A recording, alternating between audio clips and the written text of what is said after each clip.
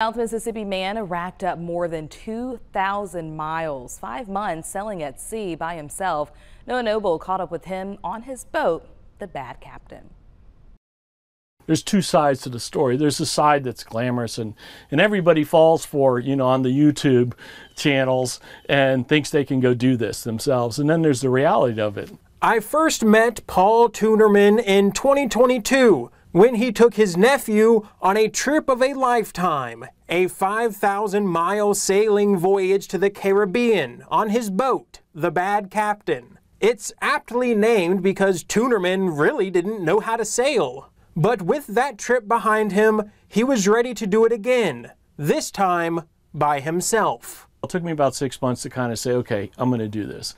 And then it took me uh, almost two years to get ready for it. Physically, mentally, you know, because it's a, it's a totally different voyage uh, with totally different tactics and strategies when it's one versus two, three, four other people sure. on a boat. On January 29th, in 40 degree weather, he set sail from Gulfport en route to Key West. And while there was a little hiccup with running aground, I go forward and I'm like, I'm not moving.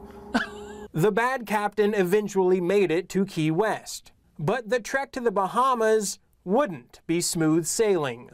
Every three days, you would get a storm that mm. came through. The wind is going this way, the currents are going this way, and the waves start to stack up eight, ten feet. Mm. And they get really close together. It's not comfortable and it's, it's not safe to try and navigate the Gulf Stream at that sure. in those conditions. Eventually, he got there hitting more than a dozen islands, patches of sand, and cuts on and off the Bahamian bank. But sailing the open ocean hundreds of miles from shore by yourself is a daunting task. I can't tell you how many times I'd sit there and say to myself, like, what am I doing?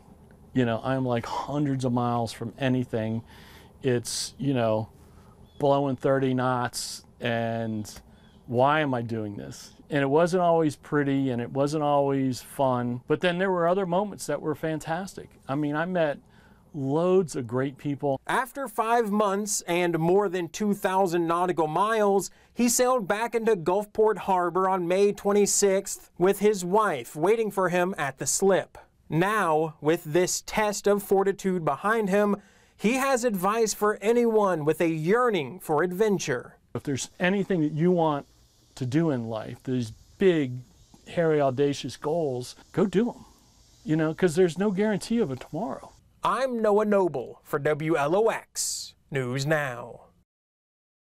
Wow, a very brave man there. And as for what's next for Tunerman, he is selling the Bad Captain and plans to actually buy something a little more spacious so him and his wife can take an adventure next. And speaking